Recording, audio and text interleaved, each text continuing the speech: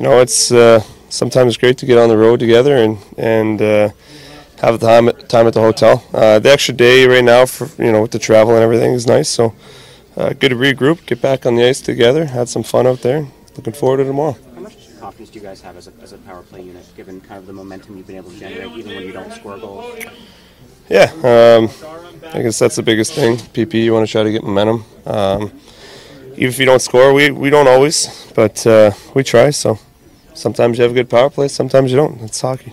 Brad, you faced a very uh, raucous crowd in Carolina. How much do you think that'll be, uh, I guess, kind of a, good experience to have in the bank for these playoffs, facing what will probably be a similar crowd tomorrow in game four? I mean, every every arena has roughly the same amount of people in it. Um, so, regardless of where you are in, in the NHL and playoffs, expect it to be loud. Uh, expect the same tomorrow.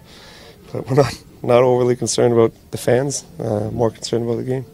What are the keys for your line, uh, maybe to start generating a bit more offensive?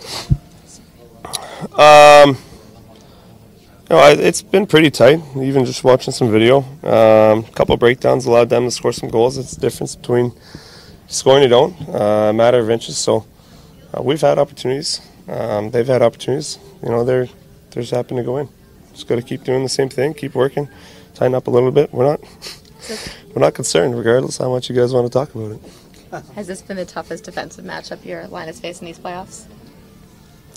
Uh, the team is a they're a good team. we're in the Stanley Cup Finals, so uh, you're going to play a good team.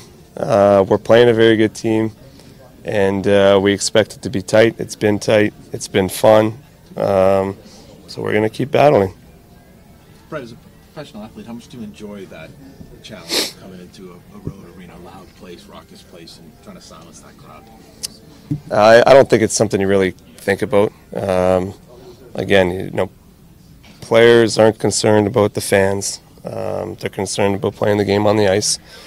So we don't come in here and say we want to win so the fans don't cheer. We want to win because we want to win. So um, it's great that fans want to come and watch, and you know it's great that they're here. But we're playing because we want to win.